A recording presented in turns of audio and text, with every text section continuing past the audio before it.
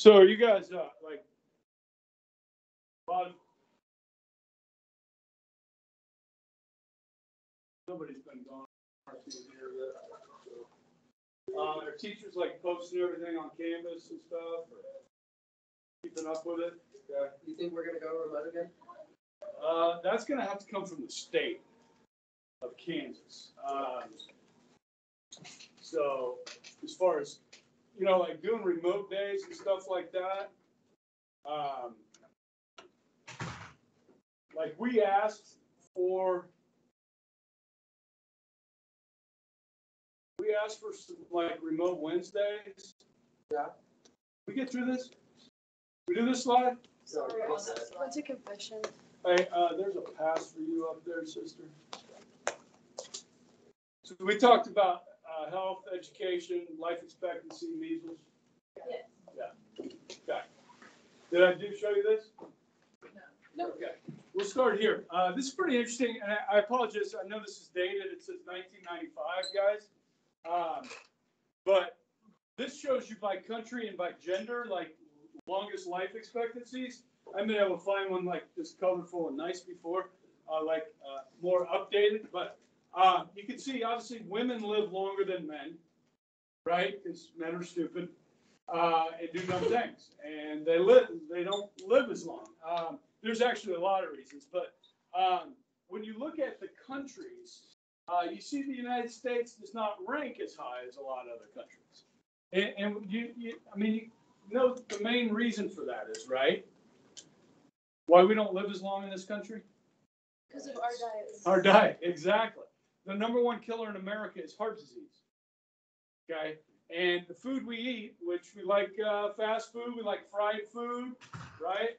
Um, it clogs our arteries. When your arteries get clogged, you have heart attacks, you get heart disease, and you die. Yes? We, a lot of people smoke in this country, not as many as used to, which also tends to clog your arteries, okay? Um, and so forth. So, uh, the, a couple other things that really lead to that, guys, is, uh, automobile accidents, which is the third largest killer in the United States. Hey, welcome back. Have you been watching my videos at all? Like, no. I see that, like, there's one view. I assume it was you. Okay, good job. Um, hope they were mildly entertaining. I kept most everybody asleep while you were, uh, asleep, uh, awake while you were gone. Okay, um, now, yeah, cancer is the number two killer. You got heart disease, cancer, and then you get automobile accidents. Uh, and we drive a lot in this country. So, like in countries like Japan, I mean, people drive, but or you know, uh, Europe, public transportation. You know what I mean? Uh, trains. We just don't use those as much. Okay, and so we, you know, drive dangerously and live dangerously and uh, die earlier. Okay. Um, kind of who? Oh, the other thing is uh, we have a lot of guns too. Okay, this is the Wild West. Still, okay. And so you open a newspaper, right? Uh, turn on the radio, watch the local news. Almost every day, you know what I mean. Somebody gets shot in our community, which is horrible. Okay. And now you guys heard about the nightclub shooting downtown. Oh, it happened this weekend. Actually, um, so this guy got kicked out of the bar, came back with a gun and started shooting people. He shot seven people. Five of them were women. One of them died. He's, a, he's an African American gentleman uh, who's a bartender, and he's married to a former student of Bishop Carroll. Okay, so she lost her husband, and have two small kids. Yeah, Uh, he was the bartender at twelve. At twelve. Yeah, I think he might have done the nightclub thing too. Okay, I always saw him. and I, he sounded like he's a great guy. He was. Yeah. A lot of people that work at club said that like he kept the restaurant alive and like happy to the whole restaurant. He just lit the place up. Yeah. They did catch the guy. Guy, um, God, that just breaks my heart. So not to make light of the gunplay in the United, you know, what I mean, but it, it is a factor in our life expectancy. Okay. Um, you, anybody know what this is? Isn't it like, um, an old record player? I love people trying to explain it. Uh, yeah, so phone, phonograph, right? It's a phonograph. All right, so you gotta crank this thing, get it going, and then it spins, okay? And there, you put a vinyl record on it, and you play music, and it comes out the megaphone, okay? Um, guys, how many of you have a record player at home still? That's it, huh? Uh, I got a great album collection from the seventies and eighties, because this is what we grew up listening to with records. Um, did some crazy stuff, you know, like spin them backwards. There's like messages in there. Oh yeah. You guys know that song, uh, Another One Bites the Dust by Queen? Play that backwards. Says, I love to smoke marijuana. Done it. Had to sing a little forty-five, okay, and then you have the thirty-threes, which are the bigger albums, right? Led Zeppelin four, all heard the song Stairway to Heaven. Okay, send chills up your spine right here, okay? Because that's what happens when you listen to it, because it's freaking creepy, man. Like, it's like. And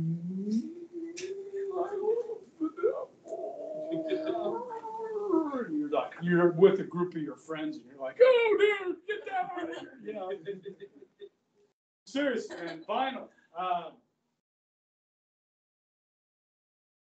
You could skip, you know, pick up the needle and move to the next song, which is nice, right? And then we got cassette tapes. You guys know what cassettes are, right? Yes. This is a little tape recorder, it's a cassette player, okay? Those were around when we were babies. Yeah, and these are cassettes, yeah. Okay, and, uh, you could record from the radio, It's like if you had a, a thing, like you could hear a song on the radio and hit record, okay? And, uh, you could make, you know, if you had an album player, you could play record players and then record it on one of these. Okay, and then put that in your cassette player on your car. Okay, before that, they had eight tracks. You guys heard of the eight tracks? The cool thing about the eight track is you could go to the next song. You could flip to the next song. Cassettes, you got to fast forward and try and stop it at the right time to play the next song, which wasn't very good. And then CDs, right? Which we still, some people use, right, CDs? A little bit, yeah. Uh, and then, uh, digital music, you know, the iPod. Uh, so, yeah, I mean, this is where it begins. Uh, the cool thing about this, guys, these vinyl, the early ones, is you could buy blank ones and record your own voice on. So for the first time, people like heard their own voice recorded. Remember when you did your first uh, voicemail recording and heard it played back? You're like, ooh, I sound funny. Because this is like the first time people like, whoa, this is cool, man. Okay, this is a 1920s refrigerator. All right, so the cooling unit is on top here, okay, and then this is basically a glorified cooler underneath it, okay, uh, insulated and so forth. All right, so before we had refrigerators, what do you do? How do you keep stuff cold? Well, you could you could put stuff underground. It's cooler down there. In water, okay. Now, if, if, if you don't want like stuff to spoil, you like put salt on it, preserve to preserve the meat and stuff like that, right? But to keep things cold, it was difficult. Now, you could have an ice box that would, like a cooler, basically, right? You put ice in the, the Yetis are really good, it doesn't melt. Okay, they weren't that good back then. Okay, most aren't that good. Uh, but anyhow, so where do you get ice? Right? Oh, but then how do you freeze it if you don't have a freezer? Right. Exactly. Okay, so in the wintertime, uh, in the north, lakes, rivers would freeze. And so people, this was a job. People would go out and cut blocks of ice like this, and then they would transport them to wherever they need to be in the wintertime. Okay, so uh, you guys, uh, you guys been to the South? What do they drink in the South? What kind of tea? It's only sweet. They don't serve unsweet tea in the South. It's like, you want tea? It's sweet. Yeah, Okay. true. Have you heard of Southern hospitality? It's a real thing, people. It really is, okay? So let's say you're living in hot Atlanta, Georgia, in nineteen hundred, and you're gonna have company over, okay? And you're gonna serve iced tea. Okay? How do you do that in hot Atlanta, Georgia in nineteen hundred? Well, in the wintertime, the ice truck comes and you dig a hole in your backyard called a cellar. And you put the ice in the cellar where it's cooler, okay? And hope that it stays cold enough in there so it doesn't melt. And you have ice throughout the year, okay? Now, there's something you can put over the ice to help keep it from melting, and don't say salt, that melts ice. What do you put on top of the? No, sawdust. Sawdust helps insulate it so it doesn't melt. So you go down, you're gonna have company over, Southern Hospitality, sweet tea. You go down to the cellar. Now, hopefully, you got concrete on the floor or something, otherwise it's gonna be muddy, because it is gonna melt some, right? And you take an ice pick and you take a chip off the old block. Ever heard that saying? That's where that comes from. Off a block of ice, and then you have ice for your iced tea. Okay? You're probably gonna have some sawdust in your iced tea, which people got used to. I mean, it's just part of the thing. Okay?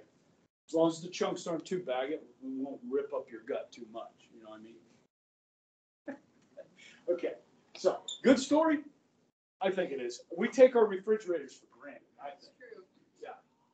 It's very, it's awesome. To have a freezer too that you can freeze stuff. I mean, it's, it's awesome. You know what's a great tea place? HTeaO. Oh my god. I don't drink tea. Yeah. You like tea? I only drink tea. Yeah. My wife's a big fan. Okay, guys, this is some of the fun stuff like uh, we saw in the video, right? So we covered a lot of this. Let me just kind of gloss over this kind of quickly. Uh, speakeasies were illegal bars. Um, you know, the video I was trying to show you, YouTube took it down, but both videos that I showed my honors classes earlier in the day talked about Texas Guinan, who ran a speakeasy in New York City. So she must have been really famous. She called everybody sucker, okay? Because they come in and they get like watered down alcohol and pay a hundred dollars a bottle. You know what I mean? So they're suckers, all right? But they're having fun. In 1927, New Year's Eve, was going to usher in 1927. In the New York Times, there were 5,000 advertisements for New Year's Eve parties with alcohol, even though it was against the law. I mean, they just openly publicized it. Okay, people didn't care. All right, and so uh, people went on, and then and then women, guys, this is really a sexual revolution. Okay, listen. At the turn of the century, your dress or your skirt, if it re- revealed a glimpse of the ankle, dude, that was risque. I mean, like, you need to lengthen that dress. I can see your ankle. Okay. By the 20s, they shot up to the knee and above. Women actually wore lipstick in public. And someone even smoked in public. Can you believe that? Listen, there's still a lot of old fashioned Americans that are like, this is wrong. Women shouldn't act like this. You know what I mean? But women are done with it. They're just like, I'm done with your rules for me, men. Okay. So this is really a, liberation for women. Okay. Throwing off, you know, the restraints. Uh, we see this again in the late 1960s and early 70s with for women. Uh, this is more in the 60s and 70s, more of a feminist movement. Okay, so things like burning bras and stuff like that. Like bras are instruments of oppression created by men. We're gonna burn them. Okay, that kind of thinking. All right. Uh, everybody thinks differently about the genders and sexes and all that, but uh, anyhow, the women cut their hair short. They had these cute cloche hats and so forth, and uh, they danced and they boogied and they had fun. Okay, and the music was amazing. Okay, jazz, ragtime, blues, and uh, the video talked about this like people like Louis Armstrong and people the music that has stood the test of time. I mean, like some of the crap you guys listen to today. It's like we'll listen to it this year in 2021. No one will never hear it again because it sucks. Okay, but some of this music, guys, it just lasts and lasts and lasts. I mean, who doesn't love Louis Armstrong? Louis Armstrong's amazing. Okay, um, the, and you find the influence of this music in pretty much every kind of music you listen to today, whether it's R and B, hip hop, rap, classic rock. I'm a big classic rock guy. I just mentioned Led Zeppelin a minute ago. Any Led Zeppelin, dude, their music is amazing. And, and if you listen to some of their, the blues just ooze out of that music. It's so awesome, man. It's just got such a comforting uh, sound to it, and uh, it's deep. It's it's not shallow. You know what I mean? Uh, so I mean, it was a it was a great time. Dances, all different kinds of dances people were doing. It was a fun decade. You know what I mean? And so a lot of those dances still exist, they're around, and so forth. And now we move on. So, guys, for the first time, really in America, people have what's called discretionary income. So at the end of the month, they actually have money left over. They've paid all their bills and they've got money to spend. And they have time to spend it. We get into the 40 hour work week, you get the weekends off. Let's go out and have a good time. I want to be entertained. This is where we see sports just freaking take off. Okay, and one of the biggest ones that I don't have up here is college football. Okay, the biggest, the most uh, famous person wasn't a player, but a coach. The coach of Notre Dame.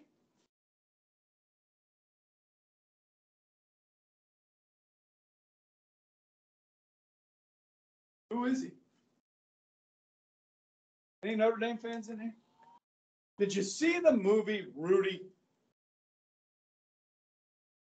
You haven't seen Rudy? Rudy? Yes. Junior. It's mid. It's mid. I've watched it. It's mid. It's mint. Mid. Like middle tier. No, it's a good movie. It's a good movie. Didn't the whole thing kind of just a lie though? Like, were they just making fun of him? I mean, in real life. Like when they were saying Rudy. Like in real life, weren't, weren't they just making fun of him? Well, yeah, I'm sure there was a lot of that. But he didn't care. He got to play. That was his dream. You know how hard it is to play football at Notre Dame? Especially back in that, or even today. First of all, to get into the school when you're not a good student, how are you going to get in? You know what I mean? How do you get into Notre Any of guys getting into Notre Dame? Huh? I see how you guys getting into Notre Dame. Okay? So you want, I'm not going to laugh at you. Okay. Huh? Josh Vo? Yeah.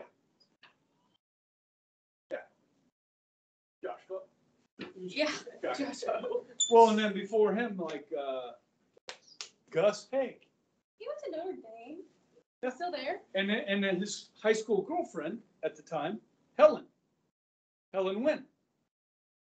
She went to Notre Dame too. Okay? That was a power couple. I don't think they're together anymore. Taco. That's all right. People grow apart. Yeah. Do different things. Okay. But anyhow, yeah. So anyhow, you get in, and then you how do you get on the team? Make the team. You're not on scholarship. You're walk on. You're five foot nothing, and you're really not that good. Dude, he came out of the tunnel. They made a movie about it. you know what I mean? Who among you are gonna make a movie about? Let's go. Let's go. Okay? Somebody, we're gonna make a movie out of somebody. Yeah, I mean, let's take bets. Okay. All right, so, um, college football, golf. Any golfers in here?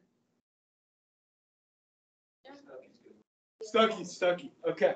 Yeah, uh, Stucky, if you're watching this, uh, couple really good moves. I mean, golf really took off in the early 1900s here in the States. Huge, huge crowds. Okay. Um, there's a couple really good movies. Uh, one called uh, The Greatest Game Ever Played. Yeah. Uh, it's not mid or whatever he said. Okay. Um, what'd you say? Happy Gilmore. Happy Gilmore. Yeah. Um, then there's another one called The Legend of Bagger Vance. Really good movie. Okay, about this time period. Uh, boxing. Uh, they might have mentioned this in the video. This is uh, Jack Dempsey fights Gene Tunney, a former Marine. They go rematch. Okay, uh, in Philadelphia in front of 120,000 people, guys. I mean, these are massive crowds. Okay, uh, and then of course the national pastime baseball. okay, in the nineteen twenty-seven Yankees, maybe the greatest team ever assembled. Now, back in those days, guys, they didn't have lights for the games. So the game started three thirty, so if you go look back at old Major League Baseball footage, people are all dressed up in suits. Women are wearing dresses and hats, and guys are wearing hats.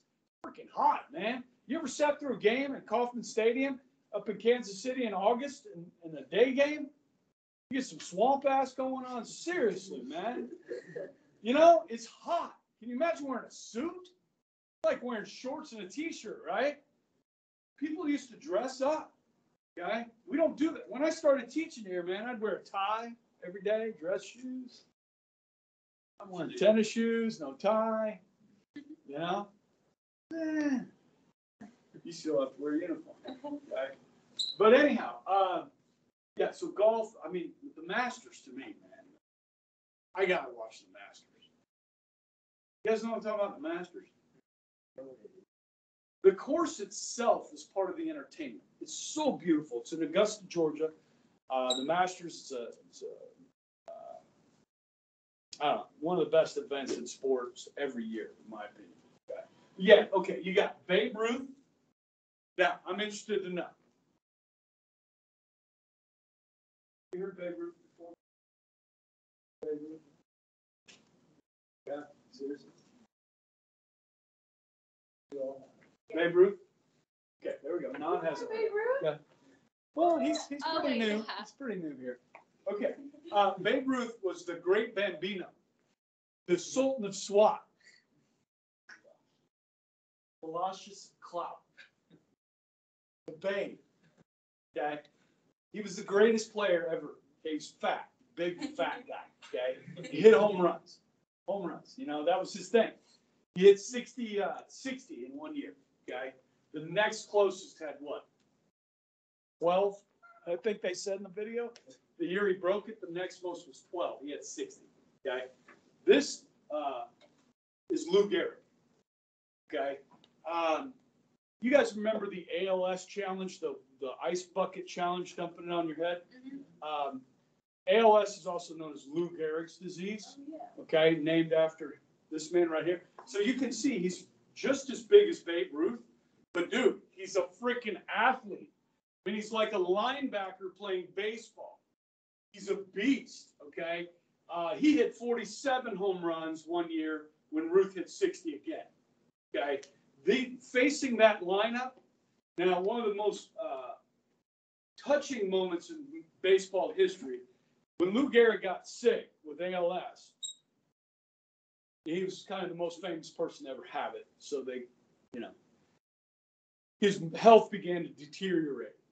Um, and so he, he was going to retire from baseball. You know, he's still a great player. He gave this speech in front of Yankee Stadium, packed house.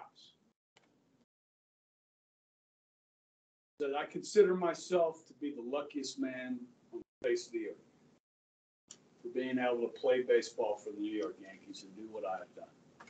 Okay, very touching moment. Uh, he would die about a year later. Okay, um, so yeah, it you know five o'clock, but starts you know get later innings. These guys, you don't want to face these guys if you're a pitcher. I mean, it's a nightmare. Okay, uh, so yeah, sports is huge, and then of course Lucky Lindy or Charles Lindbergh. Okay, so like if you were to say if I were to go to China, if I were going to go to uh, sub-Saharan Africa, if I were to go to Canada, and I were to go to Northern Europe, who would be somebody that every somebody in every one of those parts of the world knew, like knew their name? Today, back then in 1927, uh, Charles Lindbergh, everybody knew who he was, everywhere in the world. Maybe not in a village in Ethiopia, but everywhere else. Who is that person today? The most famous person in the world today? Who? Ronaldo's up there. I would say Donald Trump as well.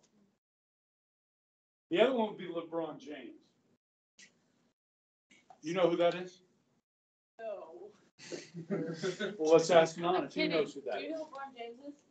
See? Did You who know- Donald Trump was? Donald Trump was? Yeah. In the nineteen eighties, Michael Jackson. Oh, yeah. Everybody knew Michael Jackson. Not as much. But Prince is better, we established that.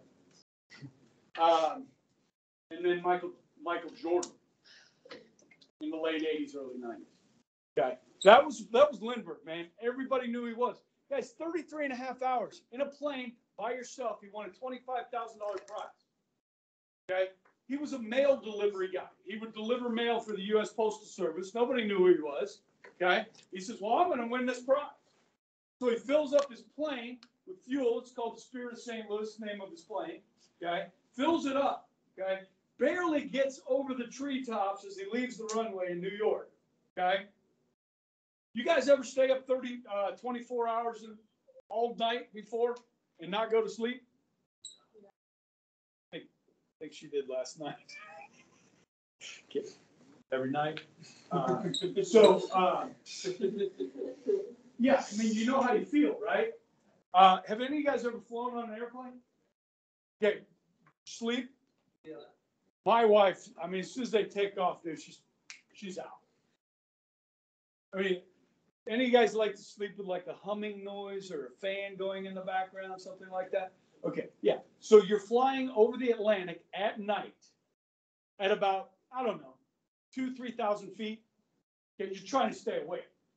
That in and of itself is a feat. Okay, there's no windshield in this plane.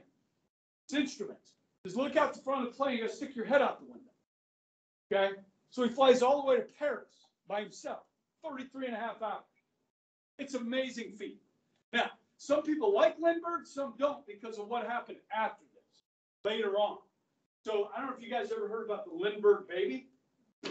So he married this famous uh, woman. She was uh, a Spanish, the, the Mexico ambassador daughter or something. Power couple. They have a baby. And one night, while the baby was asleep in a second floor bedroom, somebody climbed up into the bedroom and kidnapped their child, baby, held it for ransom. Okay, international news: Lindbergh baby kidnapped. They never got the baby back. Was found dead in a shallow grave. Okay, heartbreaking. Later on, guys, he's a he's an aviator. He's a flyer, right? As Germany was taken over by Hitler and the Nazis. Okay, they started to build an air force. We got any World War II junkies in here that know the name of the German German Air Force? The Luftwaffe. Okay, so Lindbergh's infatuated by what's going on with Nazi Germany. And when we have to choose sides between Germany and Britain, who's been our longtime friend, we choose Britain, Lindbergh chooses Germany. And so a lot of people lost a lot of respect for Lindbergh during that time period, guy. So he's kind of a controversial figure. Uh, an international figure, hero, yeah, sure. For time, okay? All right, you know who that is? Henry? Henry Ford, okay? Now, guys, when we started with the factory, we started with steam factories, steam powered factories, okay? Coal powered factories. Now they figured out how to use electricity to power the factory, which is going to make it more efficient than ever, okay? And so this guy, Frederick W. Taylor, you might have studied him last year, comes up with ways to make the factory more efficient. The more efficient you are, the more what you make. Yeah, the more money, the more profit you have. So guys, in, in business and engineering, these, this efficiency, efficiency, efficiency in private business. Okay? Uh, and Frederick W. Taylor's really kind of a forebearer in that. Okay? Um, this is the assembly line. So you put the chassis of the car on the assembly line, and then as it moves, you put the tires on, steering wheel on, put the brake pedal on, you and, it, and you do it. Okay. So it went from, uh, fourteen hours to assemble a Model T to ninety-three minutes they could put together a car. And one was rolling off the assembly line every ten seconds by nineteen twenty-five. It's like building a go-kart, guys. Okay, seriously. Could you build a car today in ninety-three minutes, even though we have robots that help us and so forth? We got too many electronics, we got computers in our cars, we got all kinds of stuff, you know, automatic windows. It's a funny thing. You're sitting in the car, person next to you says, hey, will you roll down that window? What do you mean, roll it down? Any of you guys still have a car that rolled out? You do? Yeah, well, okay, well, it's not like, it's not my car, so it's my granddad's car that we're fixing up, Okay, and it's like his old truck, Yeah. but we still use the term, yeah. yeah, even though you're just pushing a button. Roll down the window. Okay. Uh, yeah, so that's pretty cool. Now we got all this stuff that we're making, toasters, vacuum cleaners, washing, all this crap, right? Now we gotta sell it. Okay? So by selling these, we're gonna advertise, right? And so we see a huge boom to the advertising industry. All right? So what kind of, back then, they had this type of advertising, newspapers, magazines, billboards, direct mail, radio. Radio was pretty new. Um, You see a huge jump in that, okay? I I have, I have a degree in uh, marketing. My first time I went to college, and so I I dabbled in the advertising industry quite a bit. Um, It's a tough industry. You guys thinking about going into advertising?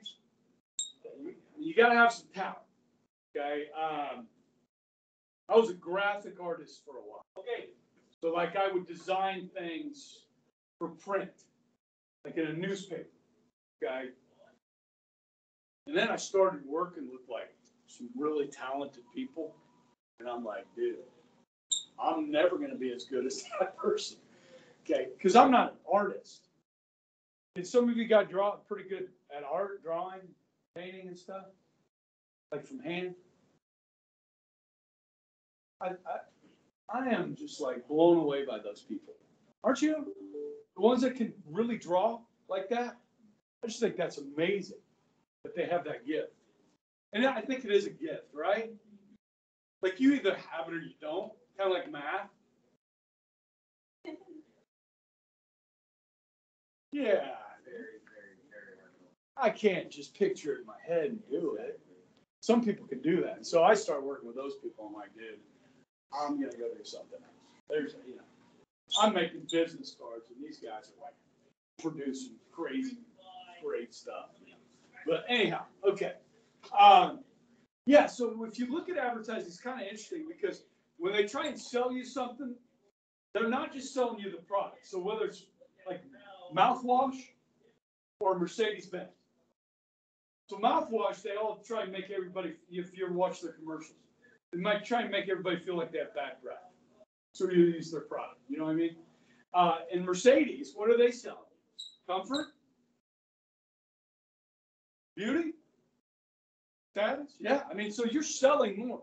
You could even throw sex up there, you know, like, I don't know if you've ever heard that, sex sells, you know, it's sexy. Yeah, sell that, okay? Uh, and now the advertising today is just downright creepy, right? So like you Google something and then all of a sudden you open YouTube and there's an ad for it. Right? They're tracking you. There's no privacy. Creepy. And people will pay good money for your information. You in the bit, you in I'm in the market for a new car. I Google, you know, Dodge truck, boom, boom, bam, bam, bam. Dude, I already bought one. Leave me alone. Okay, now, uh, this we get really good at. Buy now, pay later. Okay, now, like if you were, uh, lived in a small town like Wichita or Colwich or something, you go to the grocery store, you say, hey, I, I need these groceries, but I don't, I don't get paid till, you know, Friday. They'll let you buy it on credit, and you come back on Friday when you get your paycheck and you pay them. They would let you do that. It's kind of an honor system, all right? Um, But then we get into, with all these new products, you know, one dollar down, and you can buy these new set of tires, okay? You just gotta pay this much every month, okay? Um, and so people are really good at borrowing money. Uh, by nineteen twenty-eight, so one billion dollars was owed on mo- on automobiles, okay? So we were doing this, we were good at it. And we didn't have credit cards back then, okay? Uh, I can remember the nineteen seventies, my mom had a purse. And she had like freaking twelve different credit cards. And she had a credit card for J.C. Penney. She had a credit card for Sears. She had a credit card, uh, Diners Club, Montgomery Ward, okay, all, they all had their own credit cards. And now we just have Visas, right? Visa kind of won. You had Discover, Visa, MasterCard, American Express. I think Visa's won, okay? Most people use Visa. Um, now, I get cash back on this. Okay? But you gotta be very careful with me. People listen to me. So you go off to college, you're like, man, I don't have money to buy my textbooks. You get a credit card, because they send you credit card applications, no annual fee, here, use it. You qualify, all right? So you put your five hundred dollars worth of textbooks on the credit card, right? I hope I'm not just flashing my number on this video. Have to go back and look at that. Um.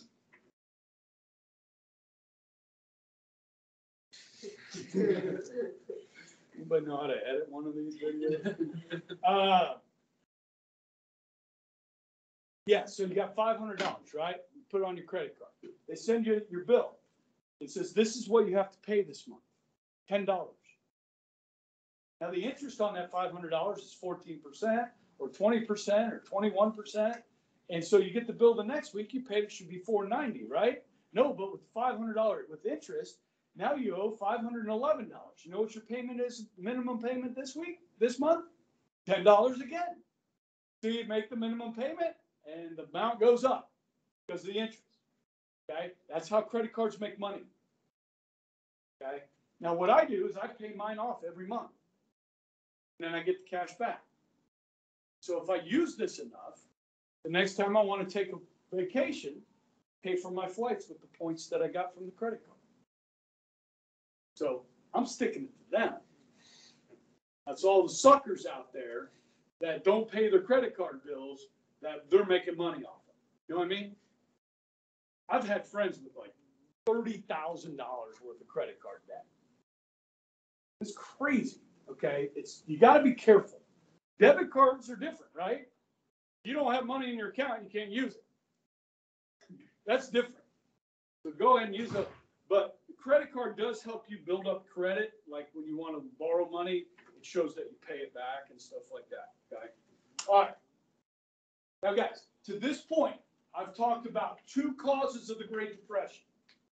One, tariffs. Two, war debts. Three is this. The last line in this section, okay?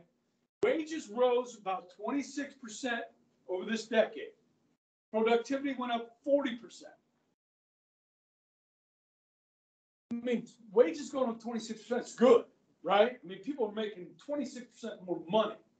But as a society, we're producing forty percent more of goods, which means there's more goods being produced than we have the purchasing power to buy. Follow me?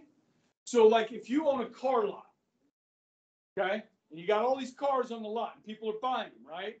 And then you've overproduced, there's not enough buyers. So at the car lot, you have more inventory than normal.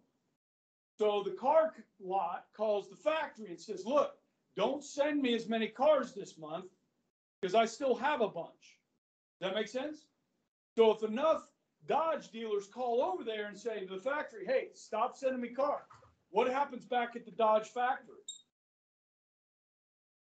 They slow down, right? When they slow down production, what are they going to do? They're going to lay off workers. And that means there's more people without money to buy cars or anything. You follow me? And when there's fewer people to buy the cars or anything else, then production in those other areas begins to slow down too. and then there's more people laid off and fewer people to buy the pro, you see the spiral, the downward spiral here? Did you follow that? Okay, this is one of the major causes of the depression.